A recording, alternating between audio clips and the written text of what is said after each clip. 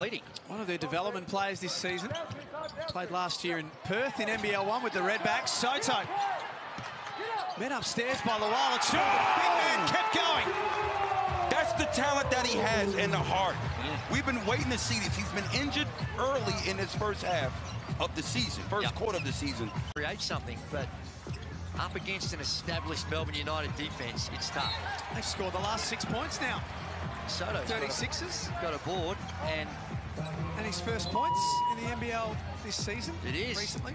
Impressive two points. and the the internet data with between the Philippines and Australia after that dunk just went off because of the Best defensive team in the league plays like that.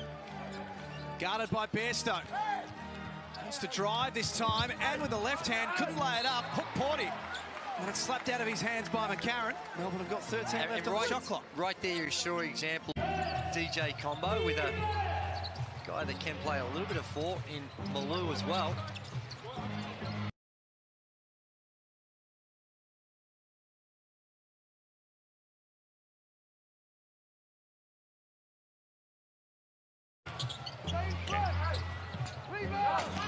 Got to be in this aggressive Played as it. an import. Played at Arkansas, played in the SEC, so a big time conference with a big time school, so he's used to big moments. And that's a goaltend, I think. Bairstow. Like the rebound. Above the rim, Sotto. His sixth. McCarron underneath.